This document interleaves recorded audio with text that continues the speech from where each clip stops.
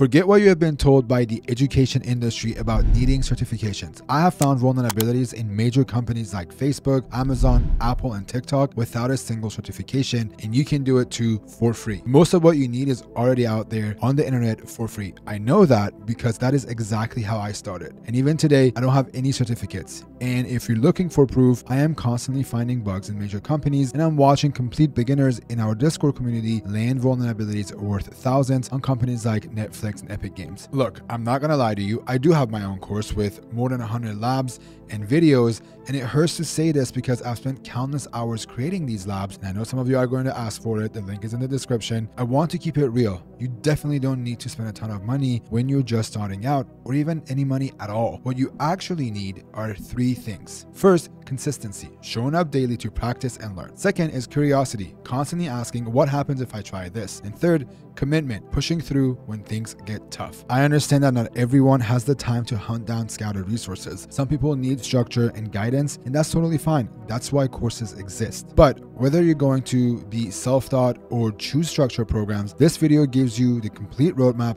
from absolute beginner to landing your first vulnerability. For each step, I'll give you a specific task to build your skills right away. So here's your first task. Drop a comment down below telling me which part of bug bounty hunting you're most excited to learn about. I read every comment and it helps me know what to focus on in future videos. Before we dive into the how to, let's quickly cover what bug bounty hunting actually is. Companies like Google, Microsoft, TikTok, and even smaller startups run programs where they invite ethical hackers, that's you, to find security vulnerabilities in their systems. Find a bug, report it properly, and get paid, sometimes hundreds or even thousands of dollars for critical findings. But this isn't just about making money. Bug bounty hunting builds practical skills that employers are desperately looking for. When I was hunting for a job, my bug bounty experience is what set me apart from other candidates and ultimately helped me land my first application security position. Each vulnerability you discover becomes a concrete example of your skills in action. You're essentially building a professional portfolio that speaks volume, way more than any certifications alone. What makes this experience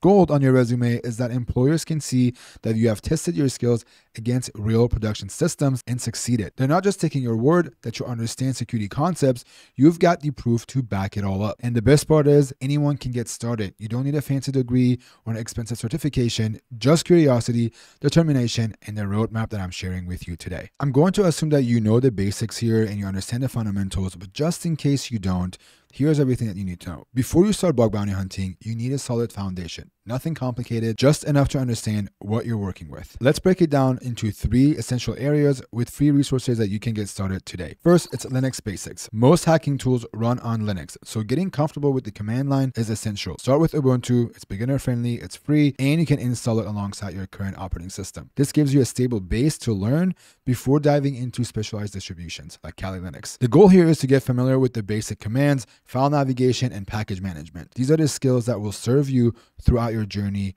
with bug bounty and hacking. For learning resources, linuxjourney.com offers an excellent interactive course that walks you through commands step by step. OverTheWire's Bandit is also another fantastic option. It turns learning Linux into a game where each level teaches you a new command line. And if you prefer a more structured approach, John Hammond's Linux for Hackers is also up for grabs that you can take just a few weeks of consistent practice will build your confidence tremendously. Networking fundamentals. Now you need to understand how the internet works under the hood, things like IP addresses, DNS, and how data flows. Both Practical Networking and Network Chuck on YouTube explain these concepts clearly, making them super accessible for beginners. You should understand how IP addresses work, what DNS does, common ports and protocols, HTTP, HTTPS concepts, and things like that. These fundamentals will help you understand what's happening when you're testing an application. Now let's get into web fundamentals. Most bug bounty programs are web based, so understanding how a website functions, things like HTML, JavaScript, and how browsers communicate with servers are really important. Free Code Camp's web development course is excellent. It is hands on and completely free. Focus on learning HTML and basic JavaScripts and how browsers render pages, client side interactions, and web application architectures. Understanding these components make it much easier to identify where vulnerabilities may exist. You don't need to become an expert here just yet. Just spend a couple of weeks here getting comfortable. The more you understand, the easier it will be to spot vulnerabilities. Here's your first challenge though create a sample web page and get it online. Install Ubuntu locally or spin a DigitalOcean server. I'll put a link down below in the description for free credits. Install Apache, create a page in HTML with a form and view it in your browser. This is a mini project that combines Linux, networking, and web skills into one exercise. Bonus points if you can get a VPS up and running, point a domain to it, and then share a screenshot in our Discord so I know you have accomplished your first task. Now, let's gear up with the tools every bug bounty hunter needs. We're keeping it simple with just the essentials right now. Proxy tools, these let you intercept and modify web traffic to find vulnerabilities. I personally like Caido, but the Burp Suite free version is also a classic. Download it and learn to proxy your traffic and be able to repeat requests. It's like having an x-ray vision for websites. You'll be able to see and manipulate requests in ways the application's developers didn't intend, revealing potential vulnerabilities. Next, you want to learn about browser developer tools. Chrome or Firefox have built-in dev tools that are already on your computer and incredibly powerful. Open them up, explore the network tab, and see what a site is sending and receiving. It's your window into how web apps function. These tools show you JavaScript execution, network communications, storage, and all the different areas where vulnerabilities may be hiding. You're also going to want to learn how to do recon. These help you find targets to test. So start with something like Subfinder, discover subdomains for free. Then pair it with HTTPX to see which one of those domains are actually live. This gives you a map to find additional attack surfaces that might not be just well tested as the main domain. A lot of times you'll find assets that have been not tested that could be vulnerable or they're just lesser known subdomains. And I really need you to hear me out when I say this. Tools don't make the hackers, your knowledge does. Master these three and you're ready to begin. And as far as your action step goes, grab Subfinder, run it on a domain like ford.com, find subdomains, then use HTTPX to see which ones respond. Pick one live site and route its traffic through Burp Suite or Caido, and then that is your first workflow when it comes down to doing bug bounties. This is the most important part of your bug bounty journey practice, and that starts with the learning platforms. The first one is Portswigger Web Security Academy. This is my number one recommendation because it is completely free, built by the team behind Burp Suite, and it covers every web vulnerability you need to learn. It's like XSS, SQL injection, RC, SSRF, you name it. Each lesson is paired with a clear explanation with a lab where you practice exploiting a vulnerability. The progression is well designed and it keeps you moving from basics to advanced concepts. I also like to recommend Hacking Hub, which is special because it is mostly free and it is built from actual vulnerabilities that myself and other security researchers have found in real programs. Think of it as a playground with vulnerabilities pulled from the real world applications, like looking for SSRFs that were in a specific bug bounty program, or even looking at SSO and account takeovers that some of the hackers have found in live hacking events. It is super practical, it's realistic, and it keeps you practicing with current scenarios. And for those of you that are ready for more challenges, check out Hack the Box. It's more difficult, but excellent for building advanced skills. Begin with their easier challenges and gradually work your way up. This will push you to your limits in a good way and introduces you to techniques that can set you apart. Also, it is worth noting that you should explore things like DVWA, OWASP Juice Shop, Google Gruyere, and the Damn Vulnerable RESTful API for API security. Each of these platforms offer unique learning opportunities for specific vulnerability types. Hacking is not a spectator sport. These platforms let you learn by doing it in a safe environment. So set a goal to do two to three labs a week and you'll be amazed on how quickly you learn these skills. So as far as your action step goes,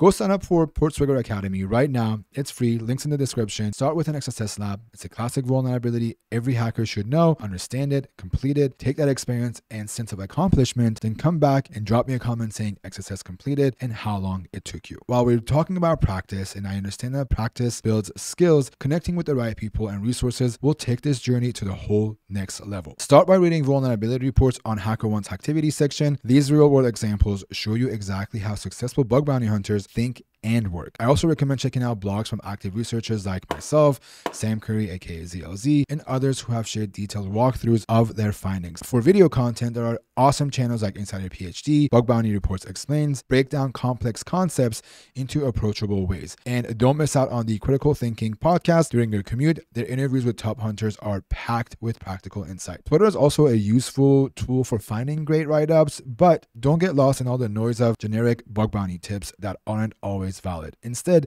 focus on building deeper connections in communities. Discord servers are like a gold mine, and they have become the real heart of bug bounty collaboration. I have seen complete strangers become friends through our Discord, and they go on to make thousands of dollars while doing bug bounties together. The conversations and the relationships that you build in these communities will help you overcome obstacles that would be impossible to tackle alone. If you need an action step here, join my Discord. Link is in the pinned comments. Head to the introduction channel and tell us who you are and how you found us from this video. Getting started with real targets. Now that you have built the foundation, it is time to put your skills to work on real targets. Don't worry about making money right away. Focus first on building your methodology and confidence using VDPs or vuln disclosure programs. VDPs are perfect for beginners because they let you practice on legitimate targets without the competitive pressure of bug bounties. Spend a few weeks here, not a whole lot, just hunt for XSS, IDOR, SSRF, whatever vuln type that you like. This helps you build your recon skills, report writing ability, and most importantly, gives you confidence. A lot of these vuln disclosure programs are just an amazing place to learn because you're not going against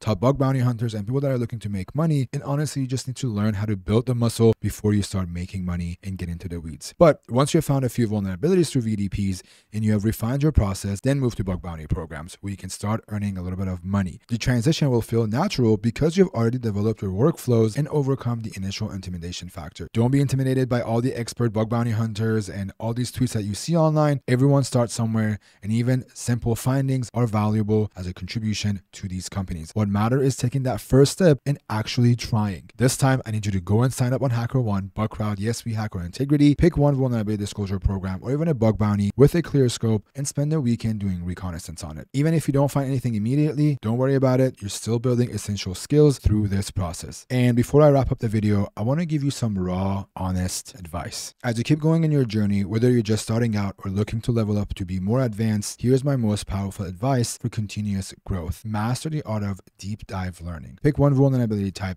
and make it yours. Let's say SSRF. That was my favorite in 2018. You're starting from scratch. No clue what it is, no clue what it means. Something about tricking the web server into making a request. Sounds interesting. You are intrigued. Step one, search for SSRF basics you will find a Portswigger article explaining it, server switching URLs you control, but maybe you don't fully understand HTTP. So you pause, watch a video on HTTP headers, responses, status, and codes. Post versus GET, it all begins to make sense. You experiment in Burp Suite, sending requests, analyzing responses. It takes a weekend, but you're starting to understand the web language. Now back to SSRF. You read a write-up, someone somehow bypassed the filter with a specific URL format. You search regex, find a regex 101 tutorial, practice with patterns. Hours later, you're crafting URLs to bypass denial list. It feels like discovering a new skill. Then you encounter a new challenge. Redirects. Write-ups mention chaining SSRF with open redirects. You're unsure what that means? Search again. How do HTTP redirects work? You'll learn about 301 and 302's location headers. Set up a local Python server, test redirect chains. A day later, you understand how to use them for SSRF. Next, data extraction. A write-up discusses extracting secrets with SSRF. Someone uses JavaScript. You have no clue what JavaScript is.